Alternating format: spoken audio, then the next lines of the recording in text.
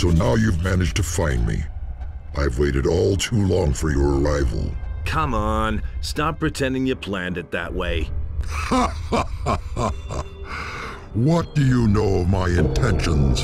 Have I not sent you the Seekers to lure you onto my trail? Have I not left the signs of my existence so clearly that you absolutely could not miss me? Were not the possessed of your kind reason enough for you to seek after the secret driving force? As much as you twist and turn, you cannot dispute all of that. There is only one thing that was not predetermined. You have destroyed one of my servants. He was chosen to bear the claw.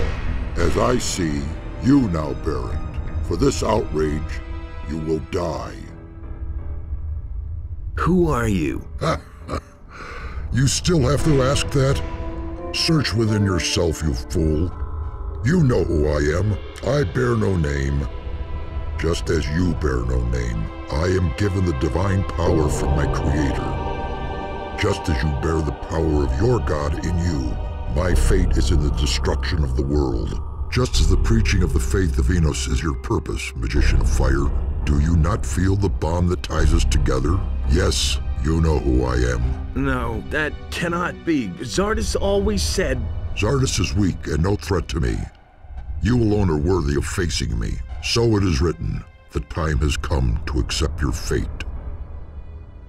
Why are you here? The divinity bestowed upon me will inspire me to drown the world in a river of violence. Only when the last fortress of the righteous has fallen shall I rest. On whose behalf are you leading your minions to war against humankind? My master is the Lord of Night. You know him. You can hear his call. My armies will rise from the ground in his name and shroud the world in darkness. Enough said. I shall chase you back under the rock from whence you crept, you monster. You're not yet ready to defeat me. Only one brief moment, and I shall have reached my goal. Your bones will serve me to let the ill winds of death blow across the world.